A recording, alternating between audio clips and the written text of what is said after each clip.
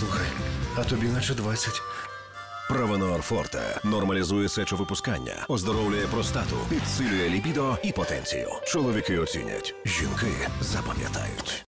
Ми продовжуємо наш ефір у суді Михайло Подоляк, але другу частину ми почнемо ще з однієї резонансної теми. Уже кілька днів інтернетом дуже поширене коротке відео, яке е, записане, наскільки ми можемо судити Тиграном Оганісяном, і поруч десь має бути Микита Ханганов. Це два підлітки з Бердянська, які вбиті російським окупаційним режимом. Ми зараз подивимось це відео. Двоих точно. Все, это смерть, пацаны. Прощайте. Слава Украине. Наскільки відомо зараз, вони, на жаль, загинули від рук росіян, але обставини їхньої загибелі досі залишаються не зовсім зрозумілими.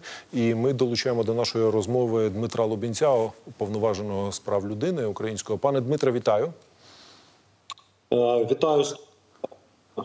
Дякую, що змогли до нас долучитися. Е, Пане Дмитре, е, що відомо на цей момент? Чи є якась е, офіційна інформація про загибель цих двох хлопців? Тому що дані розходяться від того, що вони загинули під час перестрілки з російськими окупантами, і до того, що росіяни інсценізували їхню смерть, тому що вбили їх раніше в СІЗО, затримавши за якимись надуманими звинуваченнями. Е, да, все може бути. Ми е, трактуємо, що за нашими даними е, відбулось позасудова страта двох українських підлітків. Справді, як тільки у нас з'явилася інформація, що 24 травня цього року двоє українських підлітків отримали підозри від слідчого комітету Російської Федерації, ми зразу звернулись по різним каналам до російської сторони, щоб, е, по-перше, нам надали всю інформацію. По-друге, повернули е, українських хлопців е, додому в Україну. Так само офіційно ми звертались до міжнародного комітету Червоного Христа, щоб вони терміново їх відвідали, наших підлітків, та зробили все, щоб їх повернули додому. На жаль, е, на даний час е, єдине, що нам відомо, що е, хлопці загинули.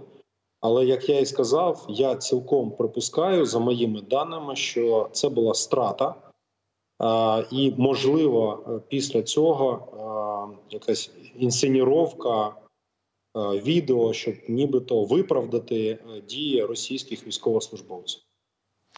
Е, Скажіть, будь ласка, чи є якась інформація про те, передали тіла е, наших хлопців е, сім'ям, чи ще ні? Бо станом на вчора була інформація, що не віддають тіла родинам загиблих.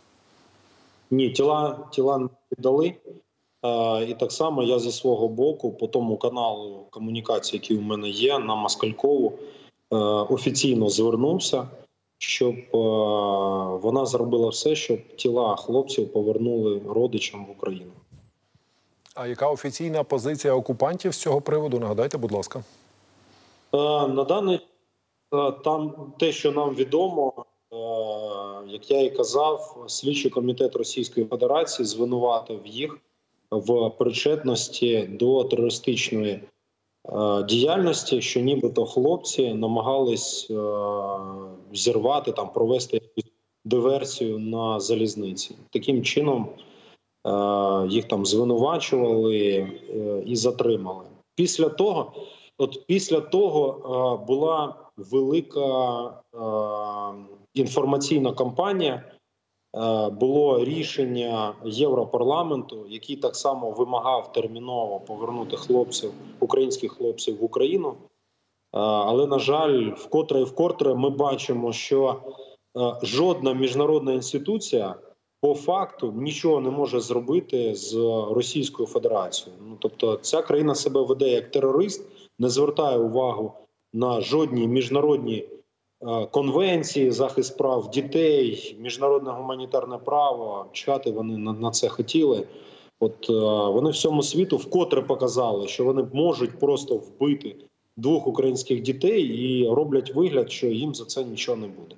А В цьому є величезна Так, пане Дмитре, уточніть, будь ласка, ви сказали, що ви зверталися до Червоного Христа, а вони відповіли, що вони не можуть цього зробити, чи вони е, щось інше відповіли? Чому вони не зреагували на це звернення і не відвідали їх, коли хлопці були ще живі?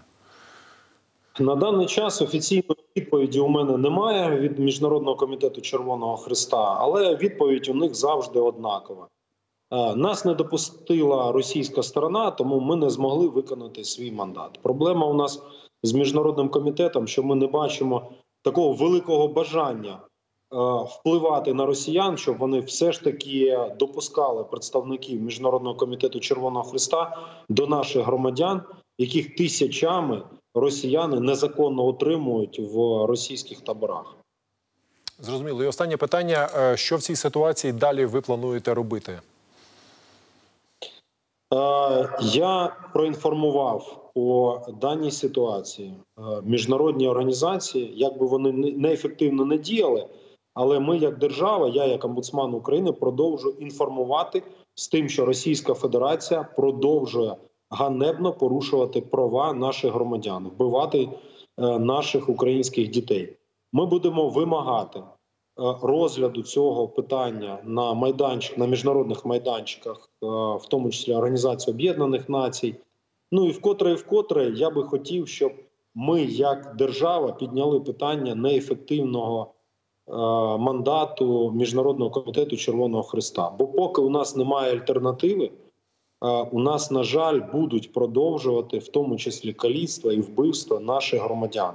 І жодної реакції е, ми не будемо отримувати. Тому на, наша задача продовжувати свою роботу робити, але і шукати нові можливості впливу, конкретного впливу на російську сторону. Дуже дякую, пане Лубінець, що змогли долучитися до нашого ефіру, відповісти на запитання. Дмитро Лубінець, уповноважений з прав людини України, був сьогодні з нами в ефірі.